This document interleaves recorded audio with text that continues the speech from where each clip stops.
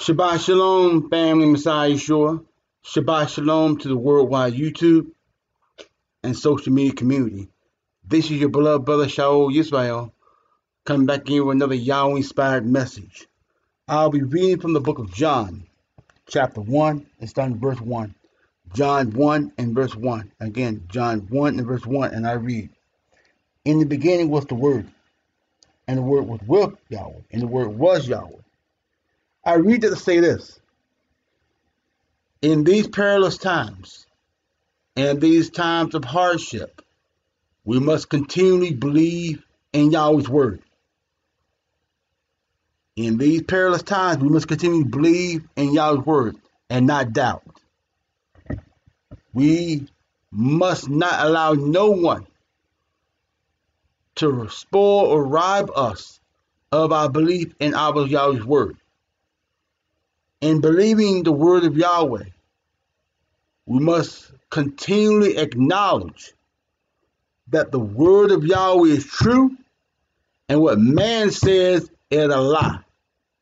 We must continue to acknowledge that every word of Yahweh is true and set apart. There are no errors, there are no contradictions, there are no blemishes in the word of Yahweh. If you profess to believe in the word of Yahweh. So if you profess to believe in the word of Yahweh, you accept every word of Yahweh. There's no errors, there's no contradiction in Yahweh's word. And those who declare there are errors and contradictions in the word of Yahweh, they know not Yahweh. Only the devil will seek to cast doubt and to blaspheme the word of Yahweh. For it's written in the scripture, all scripture is given by inspiration of Yahweh and is profitable for doctrine, for reproof, for correction, and for instruction in what's right. For what purpose? That the man of Yahweh may be perfect, through the first into all good works. And the word Yahweh says again, knowing this first, that no prophecy of the scripture is by private interpretation, but set apart men of Yahweh spake as they are moved by the Holy Ghost. So every word of Yahweh is true. Every word of Yahweh is pure. Every word of Yahweh is perfect. Every word of Yahweh is infallible. Every word of Yahweh is clean. Every word of Yahweh is 100% right. And we are obligated as children of the renewed man to govern ourselves according to every word of Yahweh.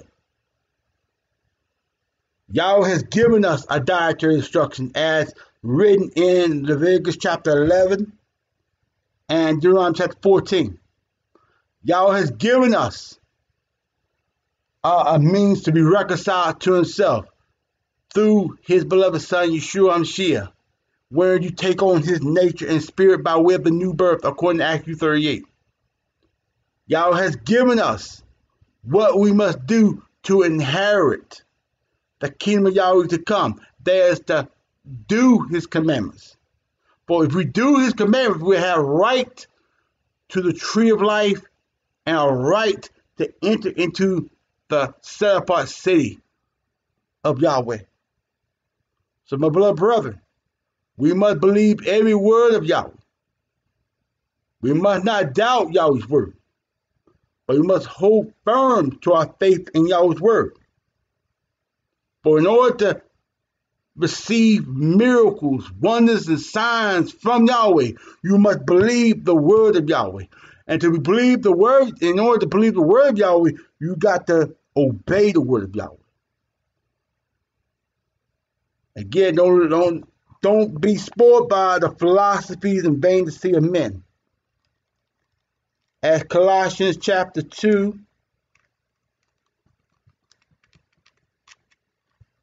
Colossians 2,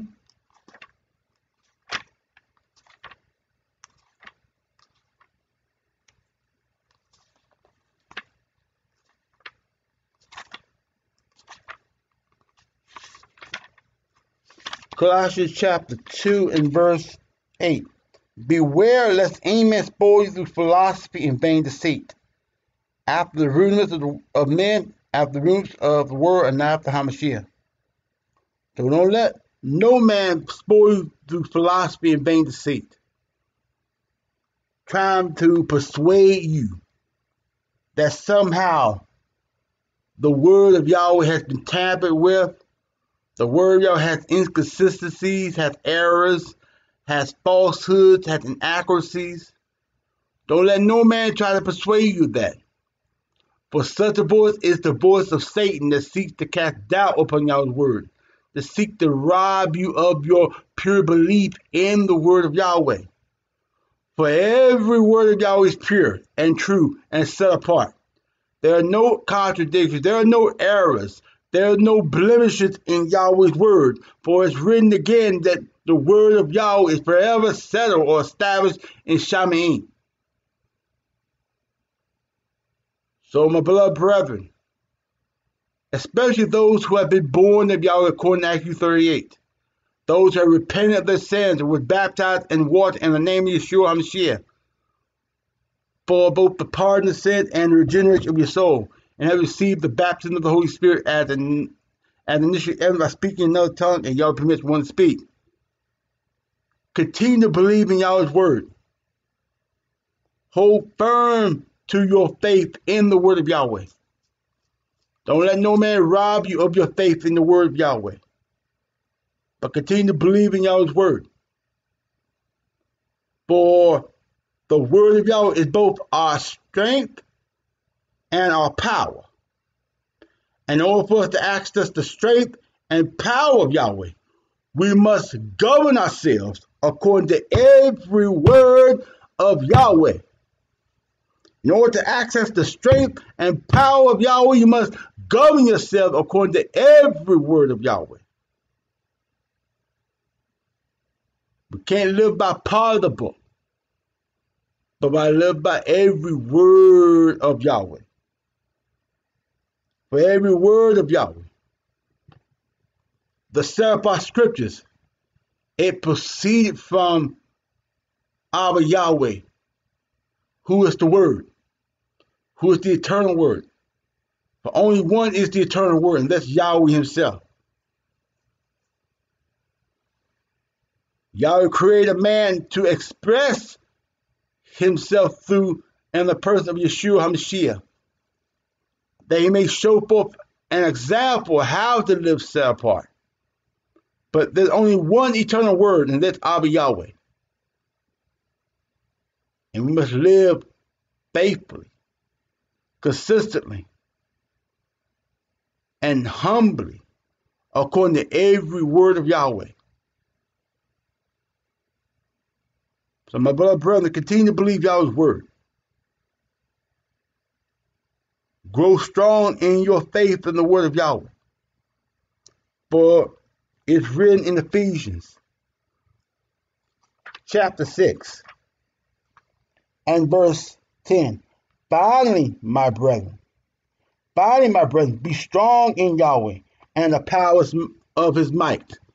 So, the strength and power of Yahweh is the word of Yahweh.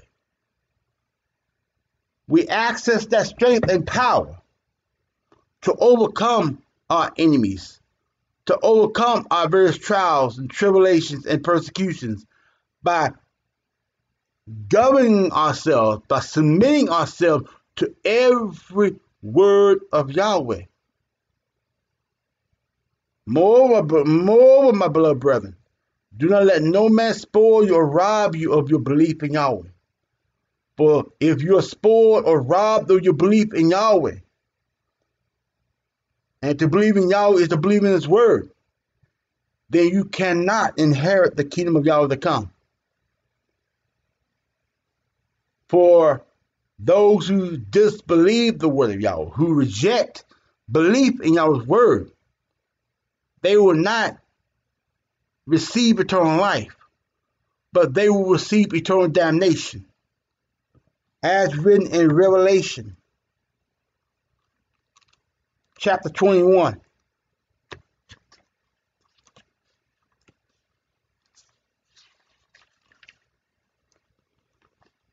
And verse 8 But the fearful, but the fearful and unbelieving, and the abominable, and murderers, and whoremongers, and sorcerers, and idolaters, and all liars shall have their part in the lake with burns of fire and brimstone, with the second death.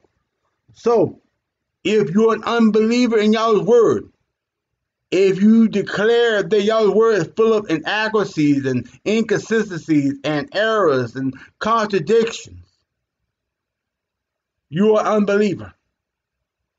And no unbeliever will inherit the kingdom of Yahweh to come to this earth. For only believers will inherit Yahweh's kingdom to come. And to be a believer in the word of Yahweh, you must be obedient to every word of Yahweh. And be mindful where faith comes from. Faith comes by hearing and hearing of the word of Yahweh. So, in order to receive faith, in order to be strengthened and increased and nurtured in faith, you must hear the word of Yahweh. And by hearing the word of Yahweh means to listen attentively with the intent to obey Yahweh's word. So do not disbelieve the word of Yahweh. Do not dare say that Yahweh's word is full of inaccuracies or inconsistencies and errors, lest you blaspheme the word of Yahweh. For the book plainly says that the words that I speak to you are spirit and they are life.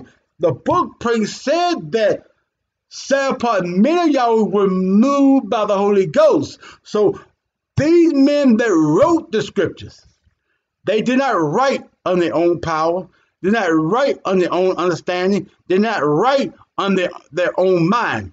So the men that wrote scripture, Yahweh took possession of them and directed their hands to record his word.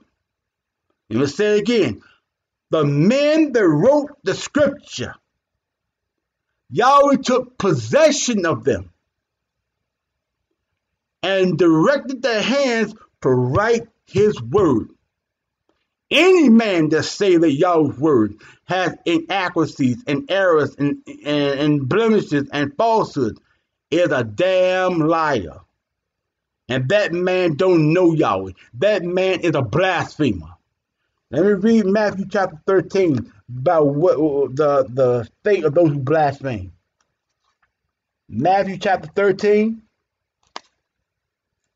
and verse 31. Matthew 13, Matthew 12 verse 31 rather. Matthew chapter 12 and verse 31.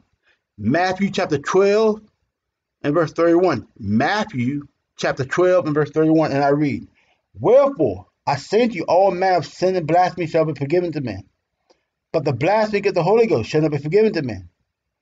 And whoso speaks the word against the Son of Man, it shall be forgiven him.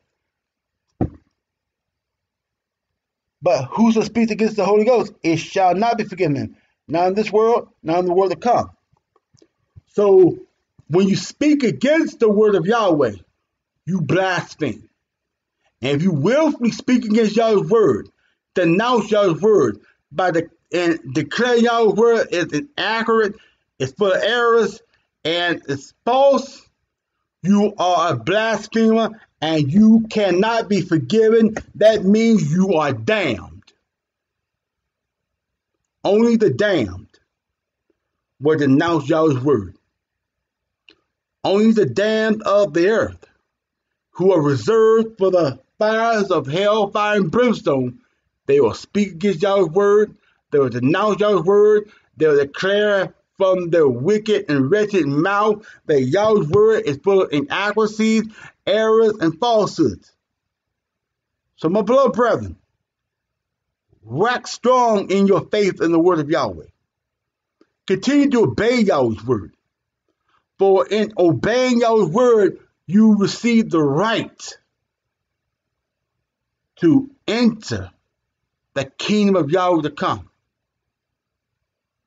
For the meek will inherit the earth, And to be meek, you must humble yourself. You must humble yourself before Yahweh's word. My beloved brethren, I pray you continue to submit yourself to Yahweh's word. Don't listen to these fools that try to convince you that the word of Yahweh is wrong, that there are errors in Yahweh's word. Don't listen to the mouth of men. But you submit yourself to Yahweh's word. O Yahweh, in the name of your beloved Son, Yeshua HaMashiach, I thank you for another Shabbat day Eve and for stirring your servant heart to speak forth your word of truth. I pray that you direct those souls you have chosen to hear these messages of truth and that you open their heart to receive your word, that they may bring forth abundant fruit unto your glory, honor, and praise. O Yahweh, continue to strengthen the faith of your elect, increasing our faith, refining our faith in you, O Yahweh. O Yahweh. Continue to guard from every evil work and work the worker of darkness. I thank you, Yahweh. I praise you. I give your name honor, glory, and praise. So be it. So be it. Shabbat Shalom.